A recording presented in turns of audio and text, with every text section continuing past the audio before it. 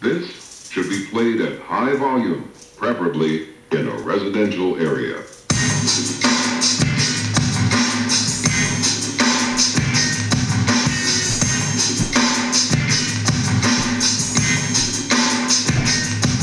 Up I begin to bust on the wet,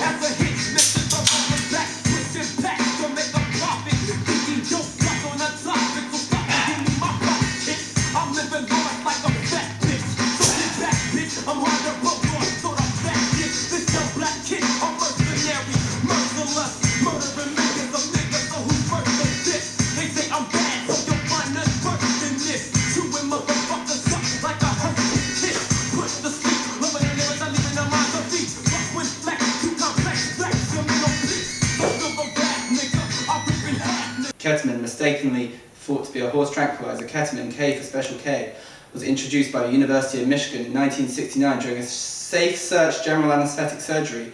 Noted have rapid recovery while safe margin, it was used extensively in the Vietnam War as a dislocative state where the mind separated from bodily experiences. Ketamine is still in use in the anesthetics for humans, although in the UK it is widely used by veterinary surgeons on animals. The drug can be administered by IV injection, sniffed, or taken orally. Users have likened the effect to injection to being smacked around the head by a crowbar. Despite this, in the post-ecstasy dance community, ketamine has become a drug of choice.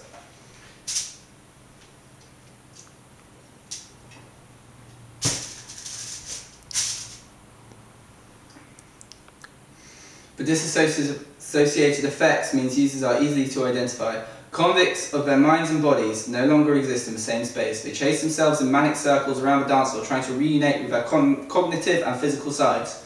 Moreover, the risks and effects occur when users imagine they've died and decide to climb into someone else, which doesn't always go down well.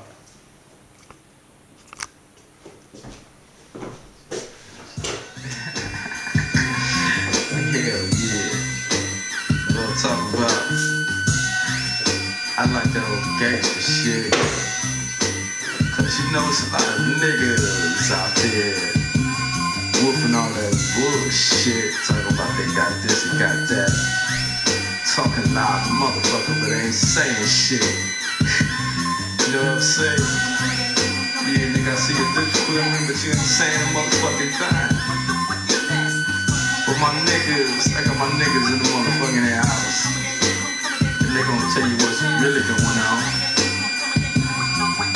motherfucking nigga on BX. Definitely in this motherfucker. I got my nigga Daz in this motherfucker ready to kick some real shit. You know what I'm saying? That shit you hear in the background. That's my homegirl Ray. So Seven execution style murders. I have no remorse cause I'm the fucking murderer. Haven't you ever heard of a killer? I drop bombs like Hiroshima.